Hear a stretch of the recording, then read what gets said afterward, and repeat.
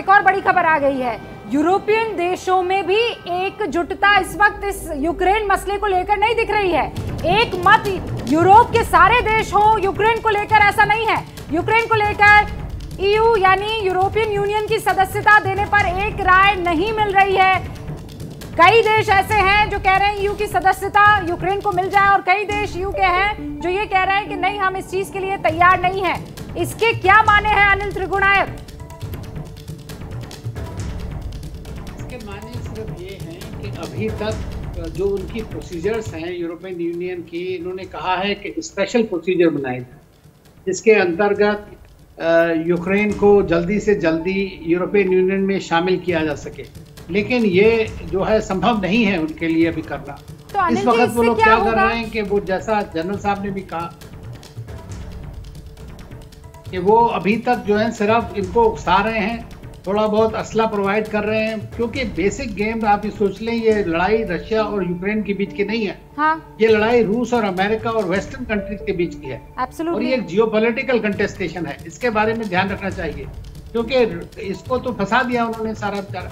इन लोगों को इस तरह की सिचुएशन में डाल दिया। अब ये अनिल जी मैं ये मैं ये समझने की कोशिश कर रही हूँ कि अगर ये ईयू की सदस्यता ले ले या सदस्य बन जाए यूक्रेन तो इससे क्या फ़र्क पड़ेगा और सदस्य ना बने तो इससे क्या फ़र्क पड़ेगा? दोनों चीज़ें।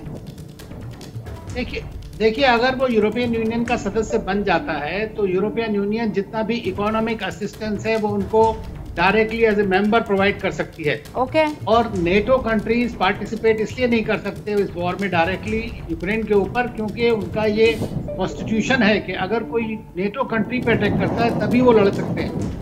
इंडिविजुअली जाकर नहीं लड़ सकते। तो इसलिए जब तक ये इसके मेंबर नहीं बनेंगे हाँ? तब तक उनको वो फ़ायदे नहीं मिल सकते चाहे वो सिक्योरिटी रिलेटेड हो या इकोनॉमी बेनिफिट्स हो नहीं हो हम्म। सकते हैं जब तक ये मेंबर नहीं बने। ये फ़ायदा है। लेकिन ये कोई टाइम इस बात के डिस्कशन का है नहीं। इस वक्त तो ये है कि कम से कम जान माल की हानि हो यही सबसे बड़ी बात है। हम्म, जान माल की हानि ना हो ये सबसे महत्वपूर्ण हो जाता है इस वक्त। हाँ सर मैं आती हूँ आपके पास एक और बड़ी खबर आपको ये बता दूँ बेलारूस बॉर्डर पर ये जो बातचीत हो रही है इसे शुरू हुए कुछ घंटे तो हो गए हैं। अब जरा आप इस चीज़ को समझ लीजिए कि आज की तारीख में बेलारूस में हो रही इन दोनों देशों की बैठक यानी रशिया और यूक्रेन की क्यों ज़रूरी हो जाती है?